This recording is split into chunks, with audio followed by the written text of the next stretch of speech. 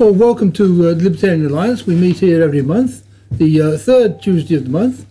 Uh, not always in this place. It's our second meeting in this particular place, but you know, somewhere. Nice. Yeah, it's, we found it quite nice last time, which is why I wasn't too much against meeting here again today. But anyhow, we've got a, mon- uh, a weekly, uh, monthly meeting here, uh, th- third Tuesday of every month. You're very welcome to come along to others, uh, especially the people who, uh, whose this is their first attendance. Uh, tonight we have our speaker, uh, Bob Layson, on the end of economics.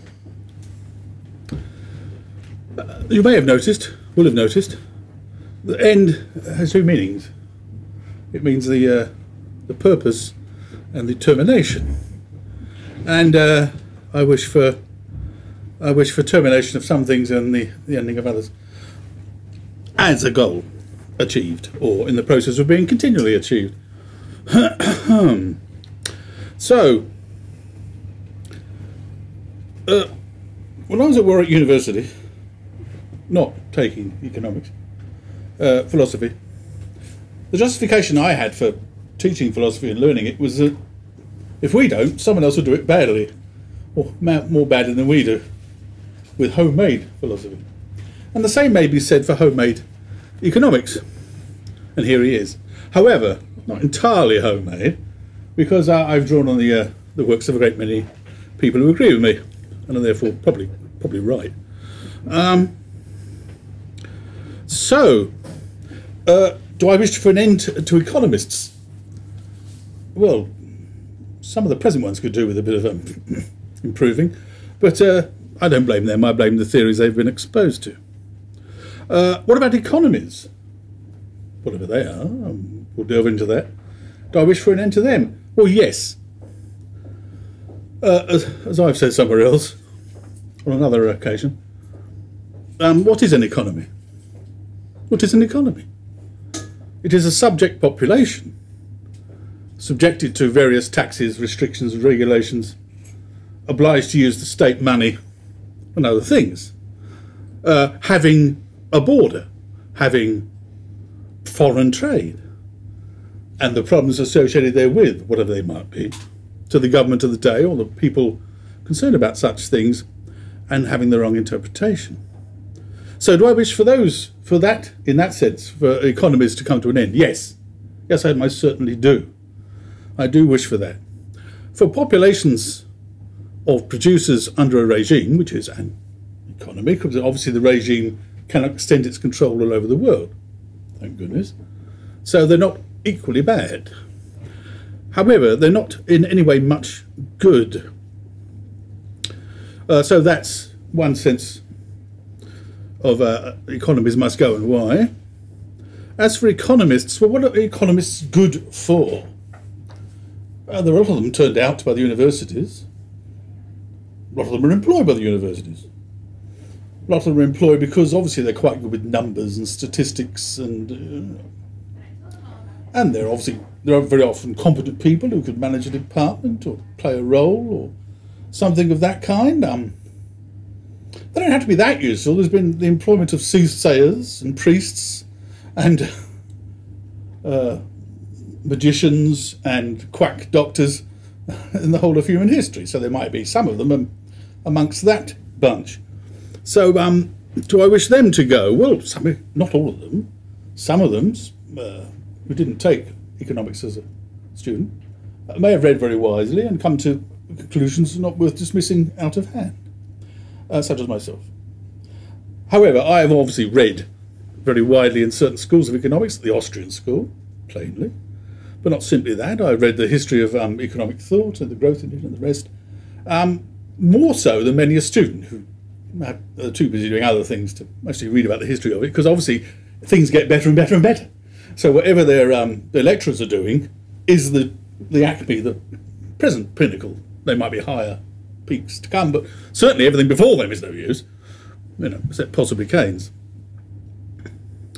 Uh, do I wish them to go? Well, I wish them to have an influence uh, in high places. I, I wish them not to give aid and comfort to governments that would rather like not to tax enough, to spend a great deal, and to borrow the rest, if need be, by, in a way, printing it uh, though without going through the the Rhodesian bother of actually printing it. They they just have it without the paper. Oh, incidentally, in passing, where was it? The libertarians are accused of thinking that that's libertarian land. Um, Somalia. Somalia, or one of that lot. Anyway, uh, somewhere up there, they actually had um, they did print the stuff. They thought it'd be honest, you know, it's more honest print all the notes, and they did. And um, eventually, you needed a great pile of notes to pay for anything. But you know, that was honest. Here you had your big pile of notes, and you paid for, you know, grapefruit, whatever it was. And um, it was pointed out by someone, rather amusingly, that they were in effect on a paper currency. I mean, they were all on paper, real paper currency. It was worth exactly what it was printed on. weight for weight. So you, you weren't cheating anybody. That's what, yeah, okay. Which is all right if it gets cold at nights.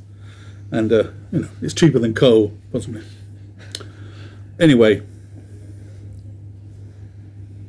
Uh, so along with um, economists, I've I've before spoken of the, the horrors of um, social cohesion and being a, a people under under someone or other, God or a president, which counts as almost the same thing unless his name is Trump.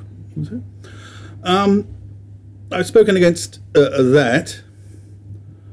Uh, no, one of my principal objections before I end this introduction.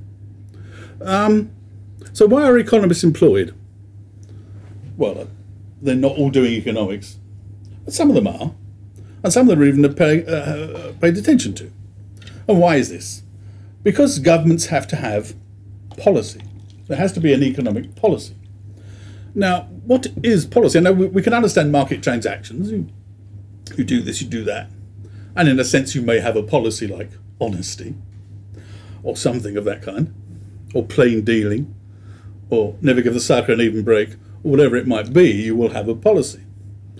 But what is, what is state policy? Well, it's obviously something that the market doesn't deliver. So they have to deliver it. So what can that be? Because the market, I mean, market participants generally have to, you know, obey the law and not be criminals. So what is policy? Well, policy is theft. Policy is fraud.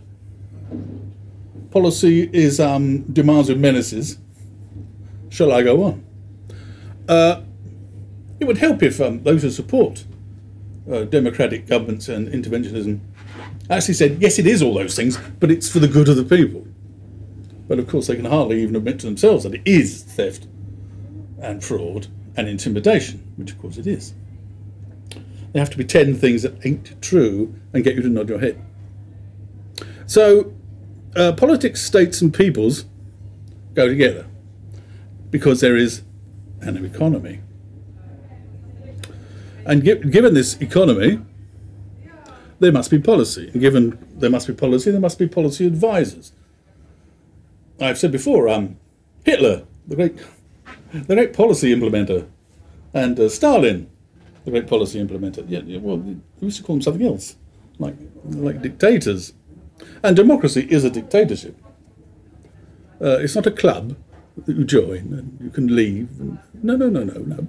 It's it's it's the least bad form of dictatorship, possibly. But um, to be uh, a dictatorship, they have to give, they have to dictate. If you're going to employ someone, then you have to employ them contractually on this basis. If you're going to build a house, then you must, you are obliged to build it in such and such a manner, or not in that manner. I mean, if you're being dictated to, then there is a dictatorship. There might be votes, of course. There are votes.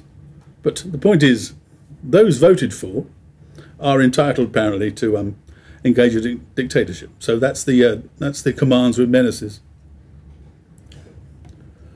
And what's worse, whilst they're doing all this, uh, they're told it's their job to run the economy. And what does that mean? But whilst they're running for office, that is. So they only have to um, appear to do well for long enough to um, be running the economy successfully. Well, they have to do something. And who do they turn to? Those, as I've said before, who argue for inflation, taxation, and borrowing.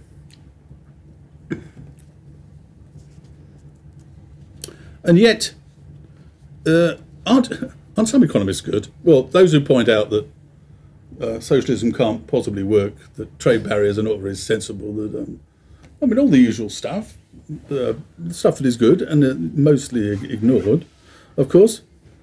Um, but, but sadly, they're also the ones who say that the, yes, the economy must be run, demand must be managed, you have to have a monetary policy, you have to have a, a fiscal policy. Um, see my remarks earlier upon policy, because of course it will be no one else can provide the, the, the, the money. We, we provide the money. And you can't provide copies of it either. I mean, if it's useful, if someone else made some as well, it'd be more use, wouldn't it? Of course. But that's, that's, not, that's not agreed with. So, running the economy, apart from the fact it isn't the sort of thing that can be run or, or ought to be run, uh, that obviously you're doing something while you're doing it, and, and it is running for office.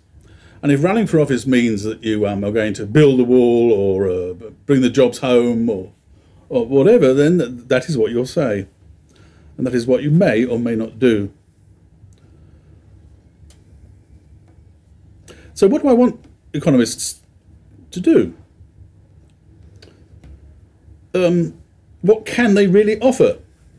What would private producers lack if economists didn't? I mean, if there was private property and freedom and contract contracts and things, what would actually be lacking? I mean, does the state have to do something here? Upon the advice of economists, of course. Well, it has to provide a money supply. And not just provide it and then hands off and let people make use of the money supply. No, no, no, no, no, you don't understand. A money supply is, is it's with demand and you have to manage demand, and you have to manage interest rates, and um, well, we just have to. Um, and yet, if we consider economists as a whole, and in a whole, with a lid on them, um, what would happen? Now, of course, there can be people doing their own uh, economics, but we'll hope that didn't happen. Let's suppose there was, by chance, the heavens had opened and dropped down some gold coin many years ago. Very useful gold coin, doesn't wear out. Um, there's only a fixed amount of it about, and uh, once some people have got a lot and other people have none, then the people with none do something, and the people with some pass it on, and eventually there is the use of, let's say, metallic coin throughout, throughout the, the economy, or right, um, throughout that trading and producing population. What is what an economy is? Uh, all right, that's something they have a have a money supply. They don't call it that. It's just it's just money. And if they would, if it's if it's say a metallic one, then it might be added to. But you needn't for the purposes of a, uh, of understanding. It can be utterly fixed, utterly fixed. That's it. There's no more. If you want it, you've got to offer something in exchange for it. And what will we find if there is saving? And saving is not you saving money's worth. You don't. You can, you can save money, although not everyone can do it at once in a sense. But they can you can save in money's worth. The farmers the farmer's produce is about to be sold off, so that's his savings in a sense. That's his production. So saving can be done even with a fixed money supply. Okay, that's fine. Uh, but what are politicians going to add? What are economists going to add to this to make it to make it work better? Uh, well, I have to say nothing at all as economists unless they're also something something that isn't an economist, really. Um, they can say useful things about, obviously, about free trade. They can say that, but you needn't even go so far as to speak of trade. I mean, we have a lot of this at present with um, the American president. Uh, to speak of foreign trade, to suppose you have an economy and they have an economy. I prefer to see just economizers all around the world. well, Other words for producers all around the world. And trade is simply having a product and a means of transport. The idea that it has to be managed in any respect, no. Things will simply move from here to there. This is all very Bastiat, I know, but perf- perfectly true. So we needn't worry about the balance of trade. We needn't worry about the insufficiency of money. So what else is there to worry about? Well, demand. Well, demand is just other people producing. That's all. That's all. It uh, Say's, not law, but Say's insight, that the creation of produce is at once the means to demand other produce. A dissimilar sort of produce, otherwise it'd be a bit pointless if what you swap is identical with what you purchased in exchange. Apart from Elvis Presley's underpants, which um, there are certain things that by association have a greater value in the eyes of some purchasers, even though, as regards the, the material itself, it, it's not in the least bit. Saints' relics, it's the same thing with them. Modern art. Modern, modern art. But if someone likes it a lot, then it's, it's worth a lot in, in one sense. So, what do private producers lack that economists can produce for them? Uh, qua, or is it quay? Economists, well, nothing whatever. The planning of each producer does not have to be planned. I mean, it's planned by the, by the producer and it succeeds or fails. Some do well, some do badly. But the idea that overall there must be a national plan or a state plan or a political plan uh, is just it's just untrue. Uh, demand management, uh, thanks to Keynes and, and others since, um, uh, is an idea very much welcomed by politicians because it says monopolise the issue of money, sort of, though with the banking system is one way of producing a fiat credit. Um, and increasing the money, the total money stock or stock of stocks.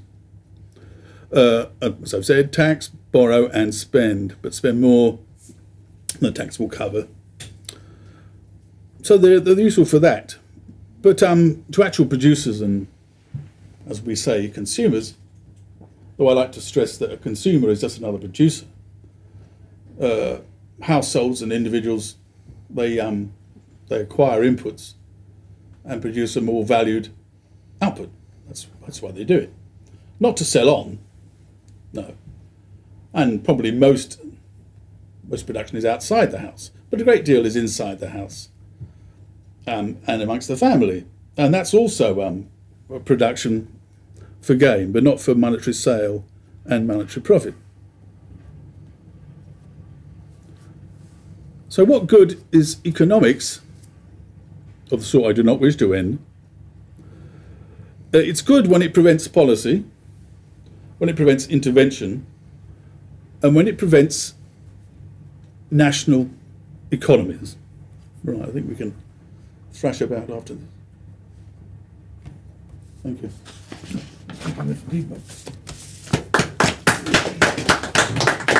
Any questions? Well, I hope so.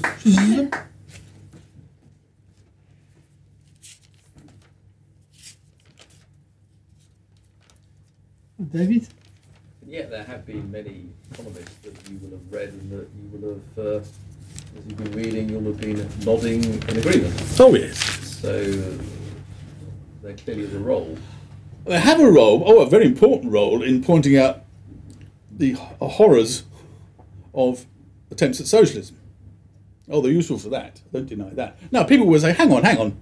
You've got this idea of what the good thing. I don't know how you got this idea but you have this bee in your bonnet, and so anything that it, it is for monetary, uh, specialised production and trade for money, exchange for money, that's fine. That's fine with you, and you, have turned against socialism. Well, no, obviously, I've examined the arguments for and against socialism. We can examine attempts at socialism, most of which did not result in a moneyless economy and top-down direction of labour and manufacturing, of course. It, ended up having to make do with black markets, and money still played a part, and you know, it was just inefficient. But it was a sort of market economy. So economists are good for that, and they're also good for pointing out the the, uh, the, the silliness of trade barriers and tariffs and the rest. Um, so it, it, could be argued against me that I'm saying, uh, well, you just want you just want the you're picking and choosing. You just want liberal economics, classical liberal economics. You haven't, you haven't kept up. You haven't Good kept up. economists, but not the bad economists. That's right. Don't, don't you realise that the Great Depression showed showed that you know it can be hunky dory and then everything can flip over into um appallingness because that's it's inbuilt in the system. And uh, my view is, oh no, it ain't. It's not inbuilt in the system. What comes above the system and below and through and thanks to the government is state money, state interest rate policy, state trade policy, state, and the rest. And that will give you uh, economic fluctuations. Now, in a market economy, there will always be um, business failures, uh, whole industries declining, new industries emerging, people finding their skills are no longer um, valued so much. There's going to be all, all that. But at the same time, you know that your grandchildren will probably live better than you did, and you live better than your grandparents did. Uh, hey, what's so bad?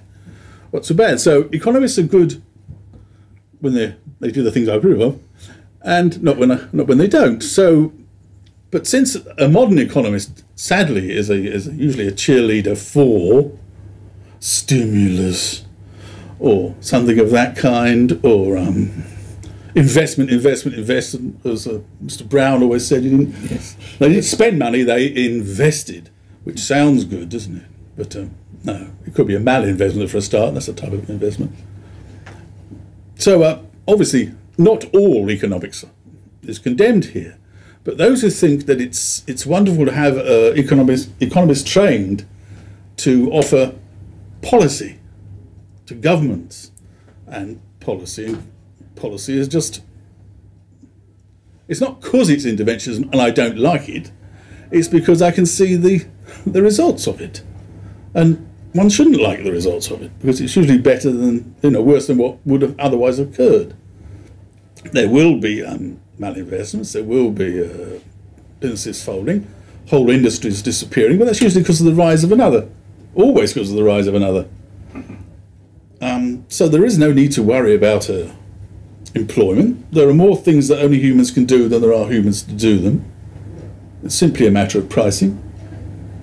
And uh, the real, the real wage, to go with that price, we were rising ever higher, unless some very strange things happened. But I, I can't, I, I can't see coming down the line. Um, I take a rather hard line. Uh, Keynes couldn't quite do it. Keynes wanted to lower the workers' wages, but he, he couldn't say it, could he? Obviously. So they had to be inflated down. There are they had to be done. It had to be done that way, and he called it boosting demand. But it was really lowering wages to get people back into work. And I think the easier way is to just lower your wage and find it and find employment. Uh, the system of um, of uh, paying people to um, engage in job search sadly ensures that there'll be an awful lot of searching and not much finding because the, the wages are not adjusting. This isn't hard. It, what's hard is being unemployed. What's hard is, oh, a very uh, tragic story I heard a month or so ago. Well, not that tragic, but it, it's very sad. There was somebody was a, a, a carpenter. He happened to be a very good carpenter. And he would advertise in, in the, the papers city papers saying, "Here he is. I did. The, I worked for this," and he wouldn't be taken on because you know they had enough carpenters, and the union wouldn't let you know let him in, and he was better than them, and he was cheaper than them. He, he, he would see men walking in and out of the factory who couldn't do the job that he could do. And he would do it for less. But no, no, no. You had to maintain the wage in order to maintain the demand for goods. Uh, some people think. Yeah, so that's where uh, I, I can see a place for economists or popularizers. You should have gone self employed. You would make more money anyway, self employed. And painters and decorators should go self employed. Well, they make far more money. Plumbers, of course. I think you had to be union. Uh, no, no, you uh, not to become self employed. Well, talking of America in the 1930s, I don't know his circumstances, but the point is. Oh the wage was so high that they didn't want anybody, but he could have worked for less. I mean, then he could have employed more of them, but but no. Yeah. Aside also. from telling everyone to leave the market alone, could they not, at a more micro level, uh, give advice on investments, for instance, analyse markets? And Are they good at that? They're thought to be uh, firms like to have them on board, and they might be good at it, but not not perhaps because of their trading so much. It's not really economics, is it? It's it's not handy to have you in. You know, it looks good, you know, but as to whether it aids you particularly, these are sharp people. They're good with numbers, good with statistics. They can, you know, they can they can find a place, but whether the models actually actually help. I think there's one example. It's the only one I can think of where you might say that, that there was a positive contribution made is options pricing. Nobody knew how to price options. And then some economists came along and said, actually, here's the way to do it, and it seemed to work quite well. So that, that created something useful that wasn't there before. That's the only example I can think of. What about economic historians? Ah, no, yes. The empirical work of an economic historian, that's. It may even be useful, though who's going to pay you to do it, to find out what output is doing. And uh, the, the wonderful thing about the market order is you don't have to know what everyone, everyone else is doing. You just have to know where can I buy such and such, what's the price, when you can deliver it, that's fine. It Hayek, in a sense, he got a lot of things right, but you're almost glorying in your ignorance. You don't have to know what other people know. You only have to know what they're offering for sale and what the price is. That's it. And will it do the job that I require in, in my production process? And uh, it usually will. Uh, the, the state, the various attempts were made to organise the organisations as if it could be done. And Hayek quite rightly pointed out that you simply couldn't gather all the information and what would you do with it anyway. And, you know, it isn't necessary to know how much of a demand there is for iron because some of the demand be trivial or wasteful or it shouldn't be used for that purpose. And but with a with a communist system, you just simply have to know what the various purposes were and somehow know whether you a bit of that, a bit more of that, and a bit less of that will be better than not changing that or that, but in a third item would. They couldn't do it, and in in actually they I don't think not sure they ever tried to do it in the end. They they spoke of it, And back in the USSR. For a while, but that was a disaster, which they later pretended was due to the Civil War and more Yes. communism, and you know, ah, that wasn't really an attempt at doing without prices, but it was, it was. What have you got? So you have to, if you, under a communist system, the dictator, be be he ever so benign, has to know what everyone's got, which is difficult enough, you know, because they might lie for a start. So what everyone has got, what everyone would need to do such and such, and which should you know which, which things should be made and which things should be made, or a little bit of each. And of course, they're in no position. So the, the best thing to do is to get yourself in a war, or wage war upon the people, and simply produce prison camps, uh, arms, and prepare for a war civil or otherwise, and that's that's generally what they did. It's easy to, to get the people in line if you, you know, if you're preparing for a war. It's obvious what to make, for a start. Oh, the, the one at the back. isn't? Yes, uh, yeah, there's an article in the, in the Financial Times today, page 11, by John uh, Thornhill, who's talking about how economics has changed from the from the old days, and it's completely different now. And you have to deal, you have to factor in, for example, uh, AI, uh, machines, Uh, artificial intelligence. which, which are light years ahead of the, the stuff which they talked about, uh, you know, the 20th century. Now they can actually think and do things like normally normal human beings. And he was saying that uh, economists have to take account of this and the, the social implications as well, and uh, how they how the state has to use uh, you know these projections and try and distribute everything more fairly, not not just money, but social economics as well. Well, some I mean, might- you don't to end up, for Yes. with just a group of companies owning the coastline, so that people with less money will be able to go to the It- beach. Funnily enough, it works in Italy, where, where mu- mu- much of the beach in front of the hotels is owned by someone or other, and they, they have a charge and they keep the place tidy and have nice little changing rooms, and, and so it, it works rather well. Enough, just on that subject, a, a friend of mine went to the south of France recently, and they weren't allowed near the beach because they were all private beaches. You couldn't even get to the sea. Yes, well, if someone's land extends that far down, that's, that's going to be the consequence. Is that good? David? Yeah, uh, I, mean, one thought that occurred to me where economists might be useful, I'm not sure, is sometimes you get questions as to what the property right should be. Ah, Uh, Yes. Sometimes courts have to deal with that. I mean, not very often, but it does sometimes happen. And if a court has to decide what should the rights be, you know, that's uh, I mean, sort of classic example was radio spectrum rights in America in the 1950s, 1960s. Sometimes it might not be obvious what the best answer is.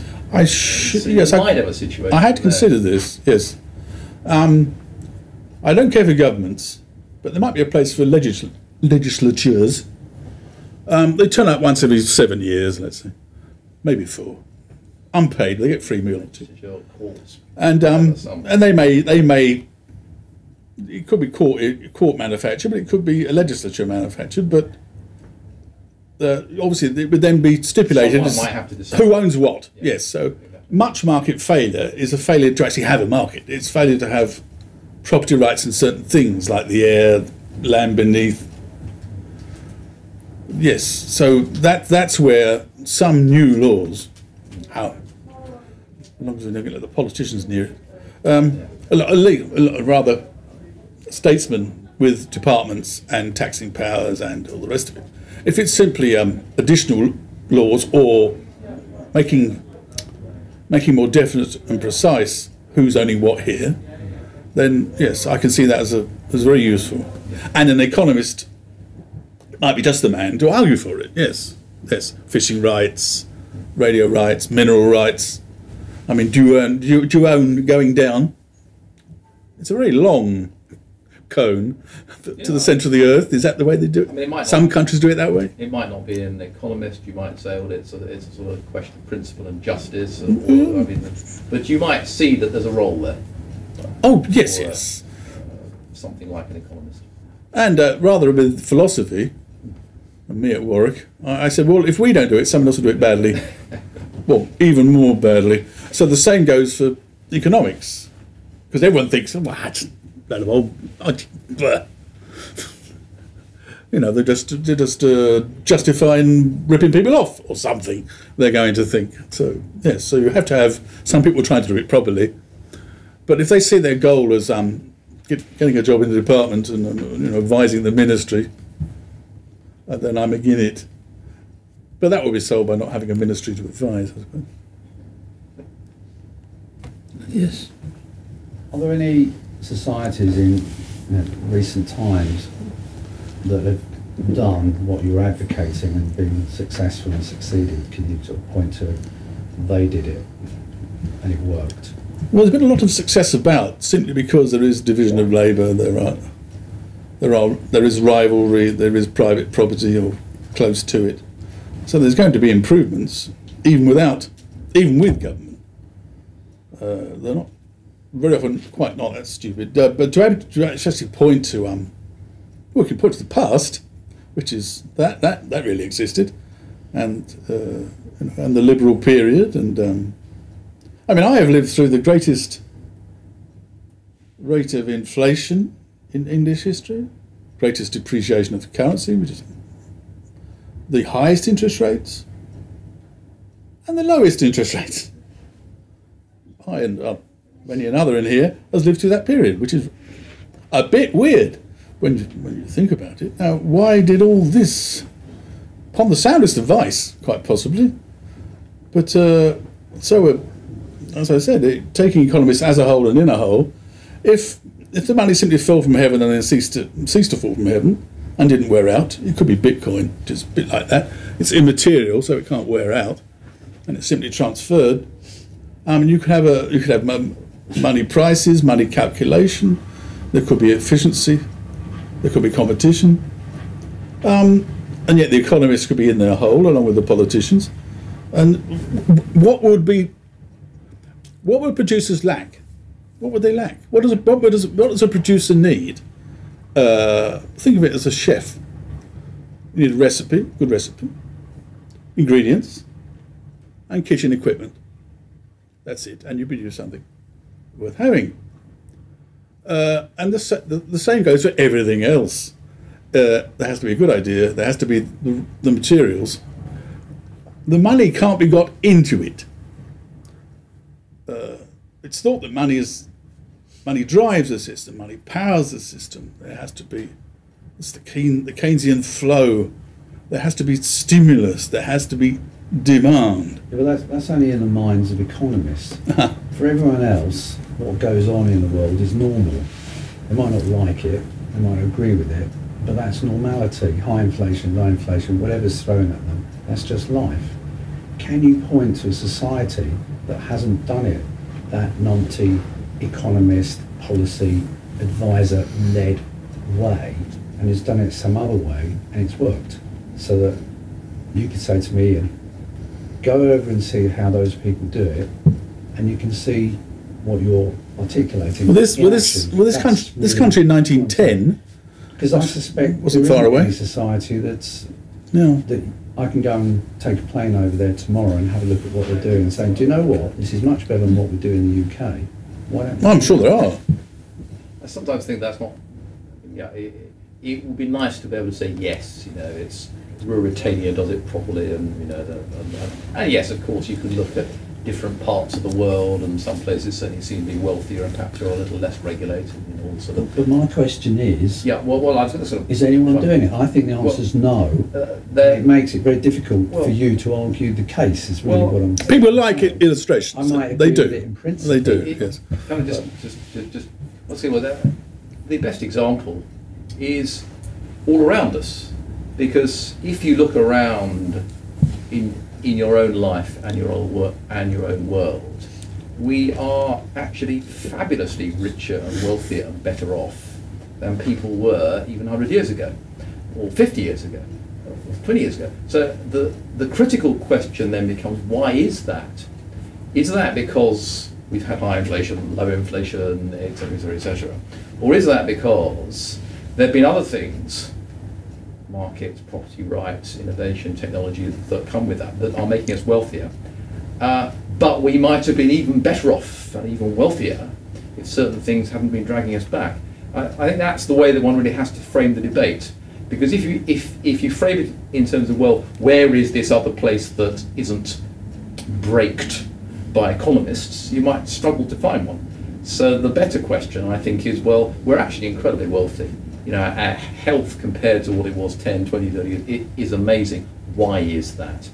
Uh, and, uh, and that's where the debate really has to be had. I think ultimately that's Bob's point, which is, well, we're pretty well off, but we could be a, a lot better off. Yeah, but my my point ultimately is I, what- I, what you I'm putting is- words in is- Bob's is- mouth. No, no, I- they're I- really good words. you get debate, which is good. You can all have a debate, but you won't get change and movement towards. I think unless you can point to something and demonstrate that it's better, rather than just logically. Well, you can certainly point to examples. Otherwise, we'd have done it. well, you can certainly point to examples of freer trade being more productive. Hong Kong in relation to mainland China, or South Korea in relation to North For Korea, example. uh, or as it used to be, West Germany is related to East Germany. You know, uh, where you have the freer trade, you have more economic growth and development. So, but it's, it's perfectly correct that, that you can't point to an example of little Ireland, a utopian Ireland, and you never will be able to because finally, I think it is uh, a world really movement. Going as far as Well, I think- I think- and I like you know your East Germany, West Germany example, but they were both economies. I would argue. I don't study economics. Both economies. They both have governments. They both have policies. They both have policy advisors. And what you're saying is proportionately, one group did better than the other because it had because they less. had wider less regulation. Yeah, but what, one suppressed But- uh, progress more than the other, but both of them al- allowed it just, to, uh, to some I- some extent. I, I just spent a few Oh. days in- in Cuba two weeks ago. Uh, so no, you can't easily necessarily point to the sort of utopian libertarian paradise, but you can certainly point to places where they've gone the where where they've gone the other way, and you can see the utter disaster that that produces. A place where nothing is happening, a place which is completely economically moribund. So you can't show the, the utopia but you can show the dystopia and Which say often- we're halfway between the two. Yeah, I And maybe we can. Or also, you can simply point back to 50 years ago or 100 years ago. I mean, it's no small thing not to see your children die in front of you painfully at the age of two, three, four, five, six, whatever it might be. And this happened to many families. And th- this silly idea that some historians have, oh, they, used, they were used to it. It's a bourgeois construct of the last hundred years that you actually invest in your children and worry about them. No, they knew they're likely to die, so you just sort of, you know, you looked at them and went, well, well win some, lose some. Apparently, some historians have argued in such a way, you know. But that's like when you were talking about historians earlier on. I thought, oh, gosh, if you want a recipe for what didn't happen, and of course, historians, his- history repeats itself in insofar as historians copy other historians. Well, historians have it repeats itself that way. But if you want a recipe for something that didn't happen, just, just consult a, a textbook on the social and economic history. Can I just, just suggest something very quickly? Um, I- I doubt it. Chicago, Chicago, Chicago, not. in the Prohibition era, Ah, I mean, ah. wasn't that libertarian? I mean, the problem is, with, with, with these, some of these madcap theories uh, around, you, they, they Which amendment was it? I've, they, they I can't to remember go which with a lot of amendment it was. Such as violence. Yeah. So did you say that Chicago in the Prohibition area was libertarian? Well, speakeasies. It's anti-libertarian. You had speakeasies, All the bits that where you could, disobey the law. where you mm, What, what about in prohibition? which you can't do now. Well, we had prohibition. Is the alcohol was banned, just like drugs are banned. we have prohibition now. You- It's it's called it's called can't- planning You control. can't go into a bar now Well, and it's say called- what you want. You could then. Yes. It was more libertarian than we are now. But what the problem is that you had the violence and, which went along with it, which is what. The, You also got poisonous gin, which is not a good thing sometimes. Although some of them made it better, and the, it didn't help that the German, that most beer came from Germans, and Germans were a bit ill thought of after the Great War, and so that was that wasn't the wasn't the principal reason for suppressing the whole thing, but that's uh, that's part of it. Oh, it was disastrous, of course, of course, and they're, they're wising up. It hasn't only, it's only taken how long to get to get you know uh, pot legalized. Um, I've I've made the point that um, the the, the last American what did he were the last American president, the most recent American president was the greatest black slave owner in American history, because a great many um, blacks are in prison for possession of vegetable matter, with intent to what? Choke someone with it? No, no, no, with intent to have a bit of a good time. And they've been banged up and once they're banged up for 10 15 20 whatever however long it would be they have to work. And they very often have to work for private companies. And the state takes a cut and the company takes a cut. And one form of um, one form of slavery was and this applies to all of us that you were allowed to go and find work but you paid a certain percentage to your slave owner and isn't that what our government does with each of us? Uh, anyway, so I made the point that he was the greatest black slave owner. Well, both black slaves and being officially black himself, I believe. Yeah. Any more questions? Uh, I, well, I don't. I don't. Think, I don't think you, you analyse a good case against government intervention. I mean, uh, if you go back to the uh, what was the 17th century, uh, the Hogarth, the Hogarth gin era, when uh, gin was plentiful to the working classes. You know, when you, you had the state intervention then to stop the working, supposedly, rightly or wrongly, to kind of stop the working classes uh, ruining themselves by drinking too much cheap gin. Yes, Um, I, I, ha- I have seen the uh, I have seen the lithographs. Um, you got. I mean, I think you, you, you haven't really analysed the, the social economy aspect of this as well. Well- Look, I'm not saying I agree with it. I'm, I'm just saying that this is a bit too sort of money oriented. People can be foolish in many ways, and uh, but you know, you've got to get yourself dead somehow or other. Um, because nature's going to ensure that you do. Uh, looking after saving people from themselves. Yes, but who's going to save us from a government that saves us from ourselves? By you know, they may um by fighting a preventive war, for example. That's the sort of way they save us, isn't it? That kind of thing, getting our um, Lebensraum. That, that, that that's that's the way they save us, isn't it? Geriatric medicine. Well, my answer would be that, uh, my butt in there, the only thing that can stop something like drug addiction or gin addiction is responsibility.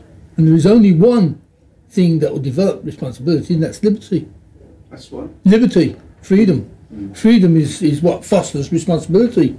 And this is exactly the road to serfdom, ceases of Hayek. An increasing state, or increasing welfare state, destroys individual responsibility and makes people more, less civilized and less responsible. And, uh, and so the solution to a problem like the drugs problem or gin or anything else is for people to become responsible for their own actions, which they can only learn in liberty. The Duke of Wellington, I can't disapprove entirely, so I'm, I'm partly approving. Uh, he put up, uh, his, his administration put up the price of um, spirituous liquors, but very much lower the, the excise on beer. Yes. And they also allowed anyone to, to, open a pub. Uh, the license consisted of having to buy, go and buy one. That was it. You weren't examined by the local authorities. You weren't, as is as now is the case, that existing pubs can say, um, "Oh, it's quite enough pubs around here." Well, there wasn't only Gin Lane, was there? There was Beer Avenue. There was Beer Street as well. That's yes, that's that's where they were doing much better. And if you're going to get sales, it's probably better to do it on do it on beer. Yes, but th- that was a good move. The it was like a dog license. It wasn't that how, how many pubs should there be. No, if you want to open one, more for you. But you pay your ten shillings, and that's the license. Ah, your license can be taken away for misbehaviour. Fine, but there was no restriction on actually getting one and opening a opening a pub, and that was a grand that was a great great time for pub building in the, in the 19th century because of that. On that cheery note, Shall we, we, we- shall we go we downstairs? repair to the bar, I think. Shall we go downstairs for drink? Well, thank you very much indeed. Bob. Thank you.